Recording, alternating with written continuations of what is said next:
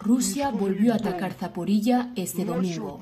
Lo hizo un día después de la explosión que causó daños en el puente de Crimea, en lo que supone un nuevo revés para la frágil logística bélica de Moscú, que transportaba a través de esta infraestructura equipo militar pesado y suministros a las tropas en el sur de Ucrania. Las Fuerzas Armadas de Rusia lanzaron 12 misiles sobre Zaporilla en un nuevo ataque contra la infraestructura civil que causó al menos 13 muertos y decenas de heridos, incluidos niños según datos de la Policía Nacional y del gobernador de la región sureña. El ministro ucraniano de Exteriores, Dimitro Kuleva, y el Ministerio de Defensa pidieron a Occidente urgentemente más sistemas modernos de defensa aérea y antimisiles. Se trata del tercer ataque con misiles en 10 días contra Zaporilla, después del bombardeo del pasado jueves en el que murieron 20 ucranianos